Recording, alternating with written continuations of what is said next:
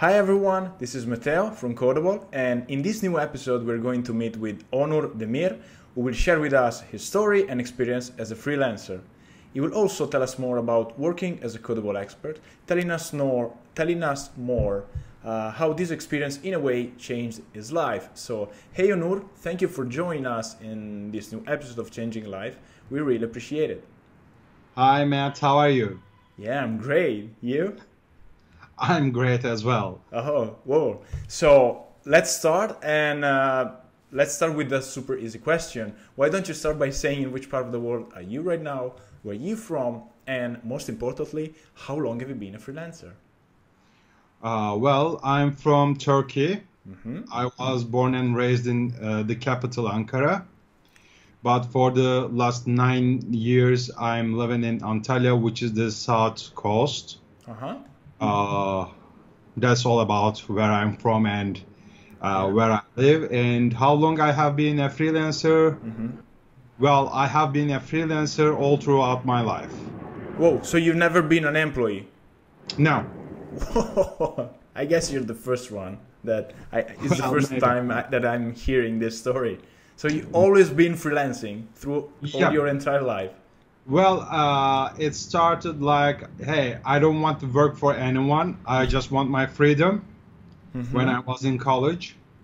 So I had to create something that I can sell to people, but it wasn't so easy.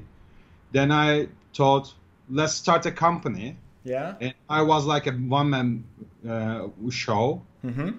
And I have been freelancing since then. Whoa. So, would you mind telling us what do you like about freelancing? I mean, why did you choose this business path instead of ending up in a regular 9 to 5 job? Well, first of all, I'm a workaholic. Mm-hmm. I love to work, and a 9 to 5 job will not satisfy me. really? Yeah, really. And uh, when you work hard for anyone, uh, when you uh, exceed the hours of the weekly time, they will not be paying you so well. Yeah. So instead of uh, trying to be a slave, I just wanted to be a master. Whoa. So that's a nice, nice catch, really. Yeah, and so I can set my time schedule as I want. I can work all night. I can work all day. No one can tell me when I will work or when I will sleep. Yeah. And uh, I just want to be challenged. That's mm-hmm. that's the main part. When you are free, freelancing, uh, there are lots of challenges. Someday you are fixing an easy CSS. Yeah. Another day you are fixing a tremendously uh, high-end PHP code. Yeah. And one day you are dealing with a server. so the challenge is not always the same and it's always changing. And meanwhile you get a great market research so that you know what people are seeking for. For example uh, you are getting uh, freelance jobs uh, about something more frequently than uh, the others. Mm-hmm. then you see the market needs a product like this so that we oh, can yeah. So uh, we have formed a company and we are bringing our freelance experience into that company. Uh-huh. and we create products and sell to people. Okay but we, we'll get that. We'll get there. I mean i'm, I'm going to ask you about this but let me just you know sorry uh, to interrupt you but uh, because we, we're going to, to, to develop this uh, further down the you know the interview so okay. even if because I have another super tough question and I wanted to ask you right at the beginning. So even if you're at the beginning of this interview, I'm gonna ask you like a tough question right away. Are you ready? Yep. okay. So what does it take to be a good freelancer? And do you think anybody can be one?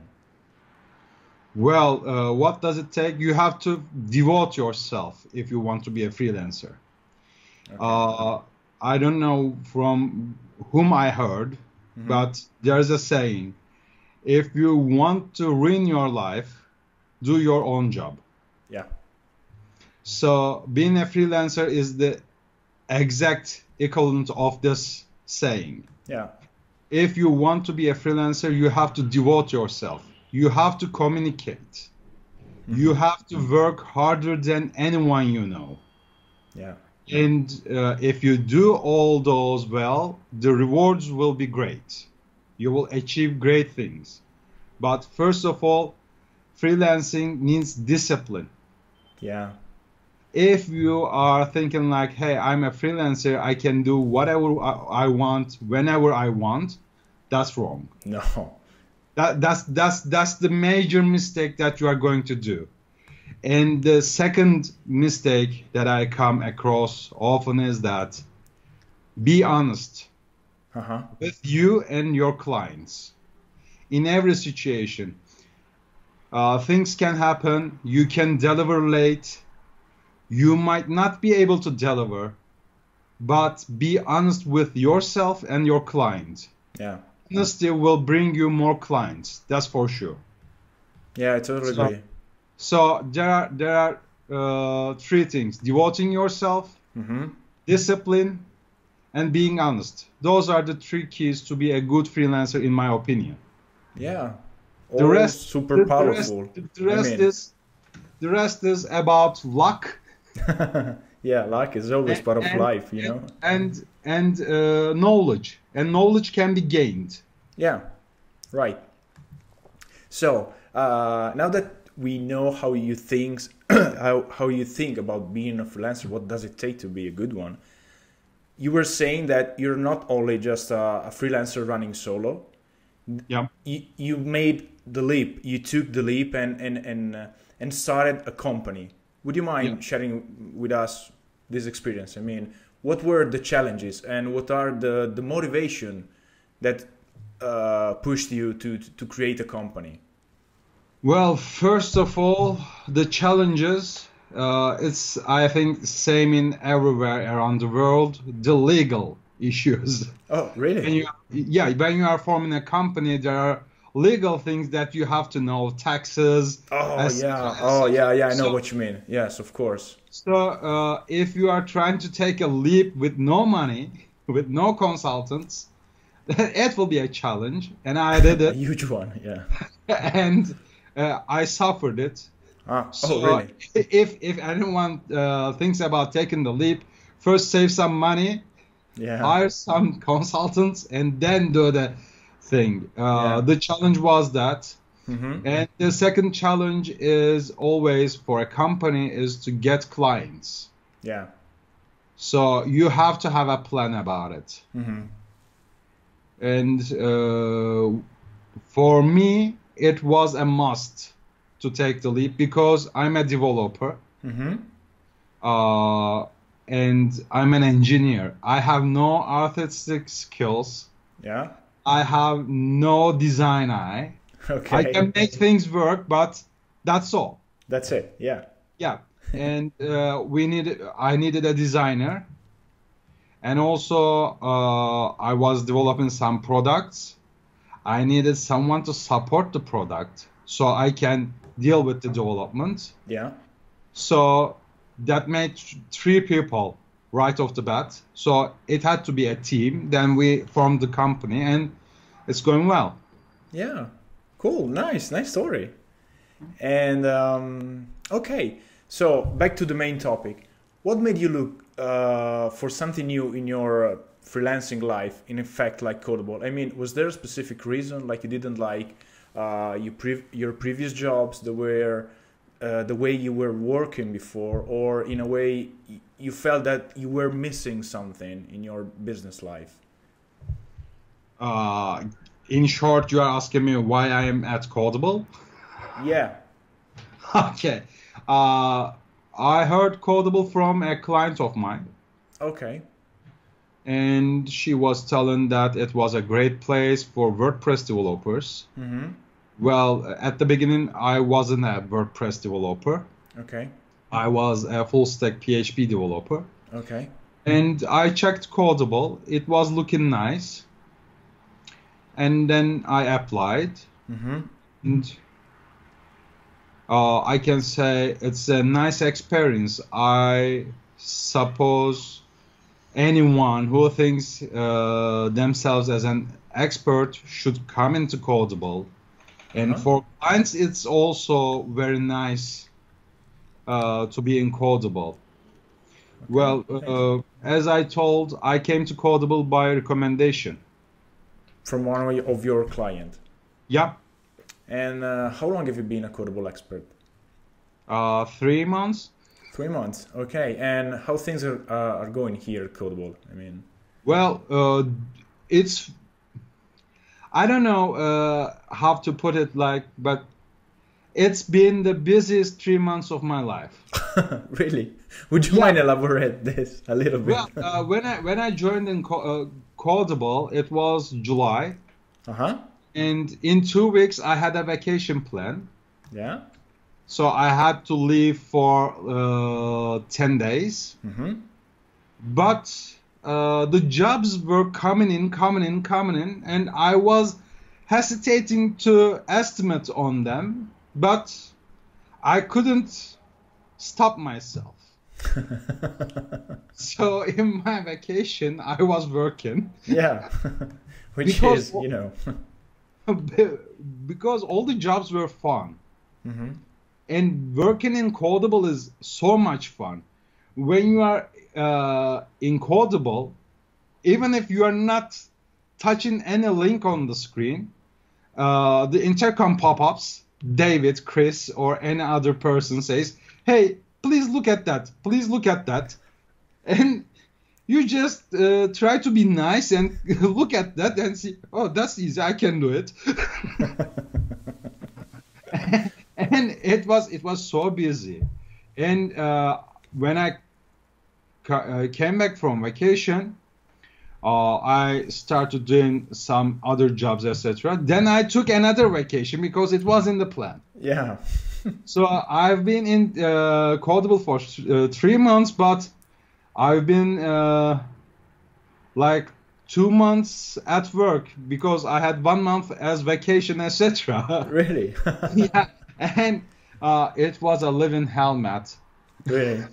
Yeah, because uh, you just cannot believe uh, how nice to be a part of a family. I can say it for Codeable. It's a family.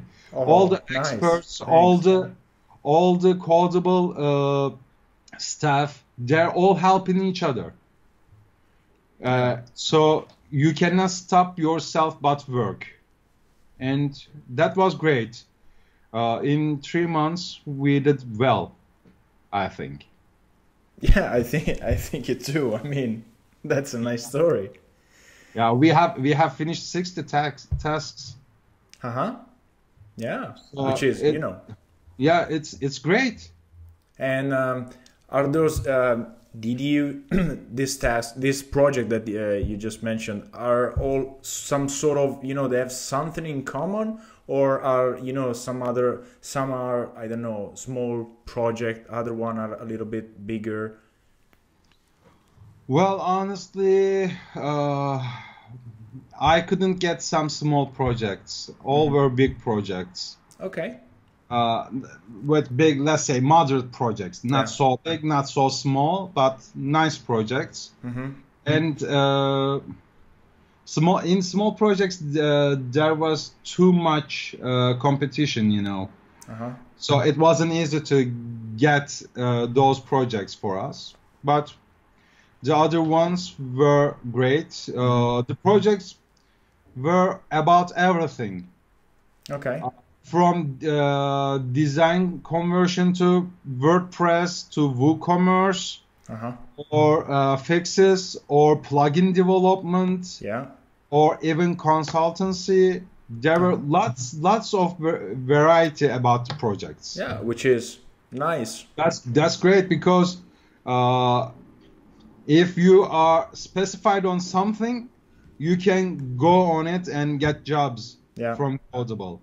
If you are uh, doing anything that uh, comes uh, challenging to you, like me, Mm-hmm. you can get jobs for yourself as, as well. For example, we do not know anything about SEO in our team Uh huh.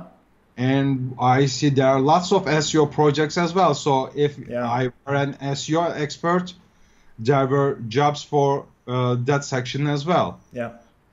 And uh, as I told uh, previously, I'm no designer. We have an in-house designer, but we are not using uh, her for uh, our outside projects.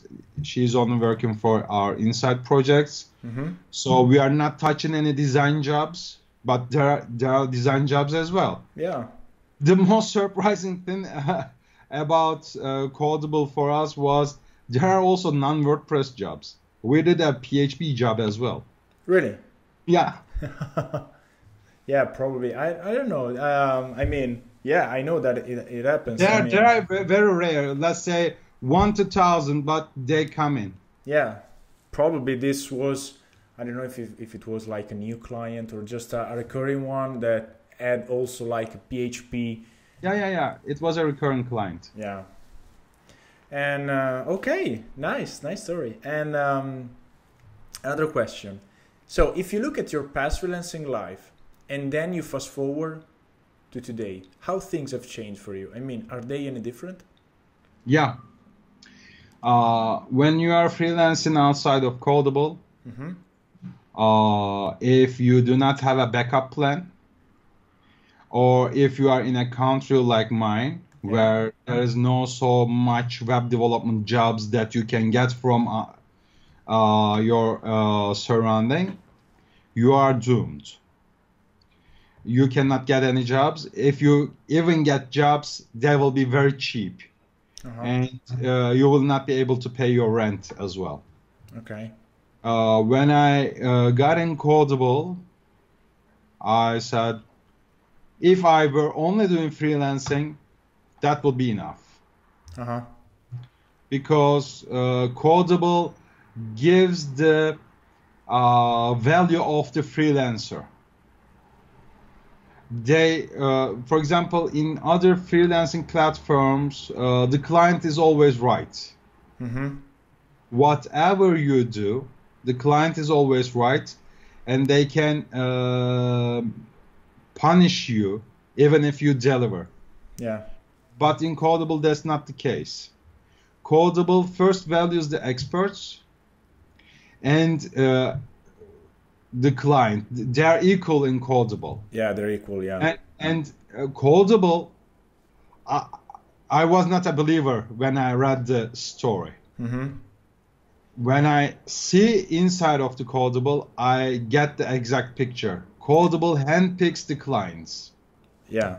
Yeah, we do so, so uh, if you if you are a freelancer, that's a blessing yeah. because because uh, in many freelancing platforms you will see many huge projects, but they are never ever serious about the project.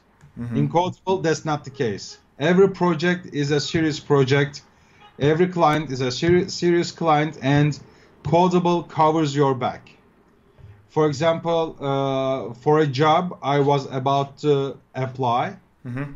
I was warned by Codeable staff uh, that the job will contain some design work, and I have applied with no design abilities. Yeah. Are you sure? And uh, when I saw it, wow, okay, I, I'm withdrawing my estimate. I'm not in that. yeah. That's great because they are protecting the client as well as the uh, The developer, the expert. the developer. Yeah, the client forgot uh, to write the design job in the project definition, and Codeable staff were waiting for people to write in there so that they will warn the people. Yeah. That, that's that's something great.